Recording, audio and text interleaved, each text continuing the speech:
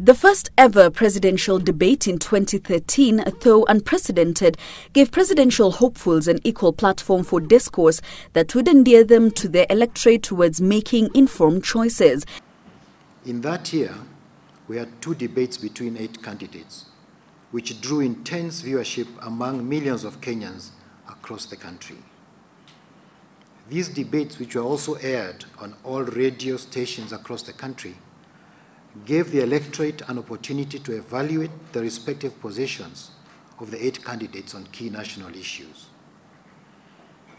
This year's general election in August will be the second one under the 2010 Constitution and will therefore mark a critical juncture in the country's journey towards a fully formed constitutional democracy. And now, exactly three months to the August polls, the Presidential Debate Steering Committee has announced the dates for this year's debates. The committee's chairman, Wachira Waruru, who doubles up as the Group Managing Director of Royal Media Services, says this will provide a platform where competing political visions for the country can be articulated and vigorously debated. Building on the successes and the lessons of 2013, we intend to stage three debates ahead of the elections. The first presidential debate will be held on Monday, the 10th of July at 7.30 p.m.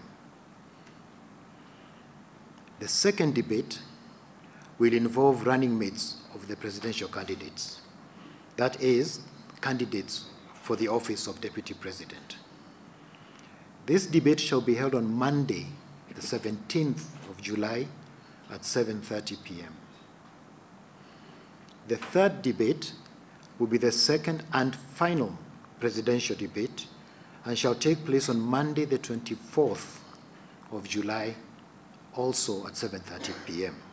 The Presidential Debate Steering Committee brings together all of the country's media houses Royal Media Services, Standard Group, Nation Media Group, Capital Group Limited, Radio Africa Group, Media Max Network, Kass Media, and Kenya Broadcasting Corporation.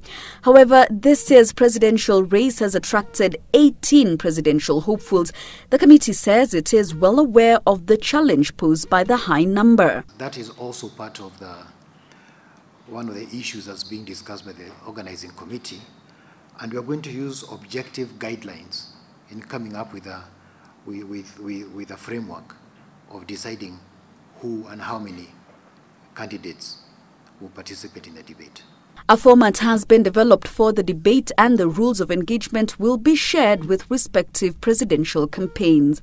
In conducting these debates, we are committed to entrenching a culture of civilized discourse between those who aspire to various positions of leadership, and particularly the presidency. The debates will be held at the Catholic University of East Africa in front of an audience of invited citizens and broadcast live across all media outlets. Jackie Maribe, Citizen Live at 1.